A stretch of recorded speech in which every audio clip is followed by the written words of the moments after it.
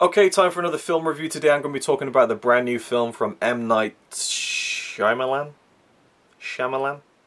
M. Night. You know the guy. You know what I'm talking about. The guy who does all the twist endings. And before you even get worried, don't worry. There will be no spoilers in this review. I'm talking, of course, about Split.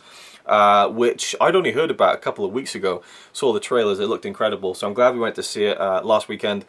And yeah, this was a really cool film. Uh, stars James McAvoy, who is one of my favorite. Well, he's my favorite current working actor. My favorite actor of all time is Michael Keaton, but you know he does films here and there. But my favorite current actor is definitely James McAvoy. Has been for many years. Loved him since um, Shameless, um, like ten years ago or even longer. Uh, back in the days when he was doing you know UK TV, and then when he started getting film roles, I was like, oh great! You know, I was was really happy that he was getting kind of bigger roles, and it's only seemed to grow over the past few years. He did the X Men First Class trilogy, um, and some other really good films that a lot of people haven't seen. So if you have seen Split, just before we get onto the film itself, and you really liked James McAvoy's performance in it, I highly recommend you go check out Filth, where he gives a similarly kind of unhinged, crazy performance in a very uh, graphic film, but it, it is really worth it um, if you like this kind of stuff. And also, The Disappearance of Eleanor Rigby, which is a concept film that has two parts, uh, him and her where you see a relationship between James McAvoy and Jessica Chastain uh, uh, from both of their perspectives. So there's two movies. It's the same story, but you see the different perspective. It's incredible. No one really talks about it. I did a whole review about it. I'll, I'll link that at the end of this video, actually, so you can easily find it. But yeah, uh, he's a great actor. I, am really glad to see that people are really recognizing now that how great he is. And in this film, he really gives a tour de force performance. Just really unhinged, but kind of focused and sinister and vulnerable, and just it's incredible. This is one of those kind of Oscar-winning performances, but obviously, you know, uh, it'll be forgotten by next year because the Oscars are all about what came out in January, uh, December and November. But um, uh, yeah, I thought he was stunning in this film, and he plays a man who has DID and uh, this kind of multiple personality disorder. Before again, before I even get into the, the, film again, I've seen there's been a lot of controversy about the film. People saying that this film is uh, shouldn't be seen because it makes people with uh, mental disorders uh, out to be crazy and all I want to say to those people is it's a film uh, and if you watch it from start to finish you'll see that it, it really isn't trying to uh, uh make a serious statement on people who have men mental disorders uh, just watch the film. Uh, I just think that those kind of claims are just are just really looking to be offended by something when that there shouldn't be enough hours in the day to be getting offended by something like this, in my opinion. Um, but this is a thriller film, uh, and is a really tensely wrought thriller film, where you have these girls at the beginning who get um, abducted by James McAvoy's character, uh, and they're obviously terrified. They get put in this room, they don't know what's going on, and he comes and, and sees them every now and again, and every time he comes to see them, uh, well not every time, but you know, the first few times, uh, he appears to be different. He's talking in a different voice, he has a different demeanour to him. And if you've seen the trailers, you know what I'm talking about. If you've seen the film, you know what I'm talking about. But he has, I think, 23 different personalities. Uh, and throughout the film, we cut between the girls who are, you know, who've been kidnapped and are, are being held hostage almost. Uh, well, not even hostage; they're, they're just being held captive um, by this guy. But we cut to this this uh, older woman who is working with James McAvoy's character um, with his his disorder, and she's kind of trying to talk him through things and stuff like that. She knows a lot about him. He frequently emails her that he needs to see her, and he turns up, and then you know she kind of tells that it was a different personality who emailed her, and he doesn't quite know why he's there. Uh, and then she starts to, to think that maybe he's he's pretending to be someone else uh, when he's a different personality. It gets quite confusing, but I think they did an excellent job of, of balancing it all out. They didn't show all 23 personalities. In fact, I saw an interview of James McAvoy where he said that he didn't come up with 23 uh, ideas of all these characters. He only focused on the, I think, nine that you see in the film in any kind of prominent way. Uh, but they really balanced it, and, and even after you know an hour of the film, I, I kind of knew all the personalities by name uh, and what they were like and, and where the differences were. And it's such an interesting film to watch unfold, and the tension I thought was unbelievable. I mean, he gives such a powerful performance where uh, I, I, felt the fear that those girls must have had uh, and the, the unease that, that, they must have had in that situation. I, I thought the girls uh, in the in the film were, were great as well, particularly the main uh, actress who is kind of the the main character of that, and we get flashbacks to her kind of childhood, and that plays into the ending very very well. So great acting in this. Even the older woman who works with um, uh, his his character, um, and she knows about his disorder and his multiple personalities. She was a phenomenal actress as well. So this is just a great film with. Uh, with with very strong performances and a, and a very good um, story that just keeps you guessing where it's going to go, and then by the end, it really does kind of take it to another level.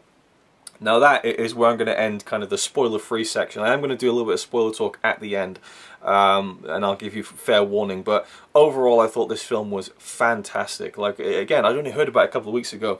It looked great and it was great. It delivered. It was a fantastic thriller um, that again kept you guessing. Um, but really, to me, I mean, I, I, hate to, I hate to say it, but it literally is just sitting there and just being amazed by James McAvoy's performance. It is absolutely stunning. I think I just it's it's one of my favorite performances in years. Um, he just brings so many different elements to it. And at no point do you feel like he's overdoing it even though the things that he's doing are very over the top. And there was actually a lot of um, well, not a lot of but I'd say a fair amount of these humorous moments that came out of his multiple personalities. And a lot of people in the cinema were laughing. And I can get that. I, I can I can get you know people finding the humor in it. But I didn't laugh once. At no point did I feel amused by any of it. Uh, and I'm not, not saying that that means that the, the jokes fell flat. I'm just saying that I was so kind of overwhelmed by his performance. There's a scene where he does a dance, basically, is one of them, and he's doing this kind of crazy dance, and people are pissing themselves laughing in the cinema, and I just found it like, you know, I, I don't know what it is. It almost goes back to the, the Darth Vader scene in Rogue One, where everyone's like, "Oh yes, this is awesome," and I'm just there sitting there, just terrified. Like I, I don't seem to react to the same things as other people sometimes, but to me, I was just so like in horror of, of just everything about his performance. Um, uh, and by the by the time you get to the end, it was very uh, uh, interesting. I, I, think the ending to me did kind of sour it a little bit. I wasn't too big a fan of the ending. Uh, that's the only thing I take away from it. Um, but it isn't even that much of a drop off. Uh, fantastic film, definitely go and see it if you haven't already. Now I'm going to talk about a little bit of spoilers, uh, so if you haven't seen the film, turn off now. The ending of the film obviously it, it, throughout the film it builds up this idea that he he's kind of scared of the beast the 24th personality this this monster you know.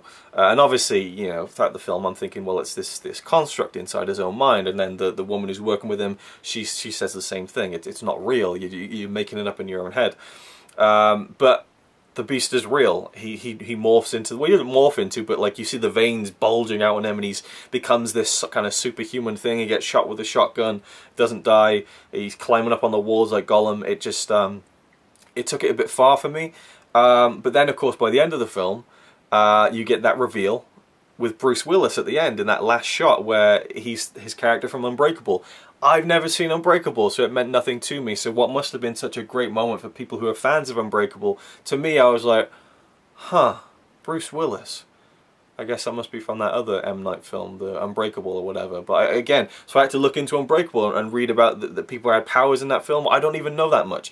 So I guess what it means is that James McAvoy's character he he actually had this superpower strength. I don't know. I, I still don't know. Apparently they're, they're thinking about doing a sequel, um, but that's the only thing I take take away from it because for me it would have been so much more uh, scary if it was all just you know it, it, all could have happened and that there wasn't this superhuman. I mean, it, it, almost I could almost I was trying to kind of justify like, well, I guess he could climb up onto the walls because there's like footholds and stuff, and you know maybe his adrenaline's going so much and he got shot with a shotgun and he's going to die later, but you see him alive at the end and he's he seems fine, so you know, and I was even thinking maybe it was blanks in the shotgun or something, I don't know, because he tells the girl about the shotgun. Uh, I was trying to make it, you know, as realistic as possible in my head, but by the end of the film it kind of reveals that it, it, he really did have this beast within him and that it was something more than human. So, a little bit disappointing because I found it so sinister to believe that, that, it could have been within the realms of possibility, if that makes sense. But uh, yeah, fantastic film. I absolutely loved it. I, I, couldn't see it not being in like my top 20 of the year by the time we get to that, like in a year's time, because I just thought it was so good and such a great cinema experience. Apart from the fact that there was a guy on my right who just was on his phone for like half the fucking movie. Like, just just go home. If you're gonna sit there on your phone, go home and sit on your phone. Why do you have to pay money to sit in a dark room and disturb other people? Uh, I, I, just don't understand it. I, guess it's teenagers, you know, that they just get given money to go out by their parents. They don't give a shit, and they'll just sit there and just hang out on their phone, and it's just it drives me nuts. At one point, I literally was like that because it was just distracting me. This light just flickering every like ten minutes while I'm trying to watch this gripping, you know, uh, captivating film. Anyway, little rant over. Uh, thank you for watching. Let me know your thoughts on Split down below if you've seen it, and I'll see you in the next video. me. Apart from the fact he throws cans of Carlin into a tree. yeah, he's really cool. Yeah, he's really cool. But he's not quite as cool as you.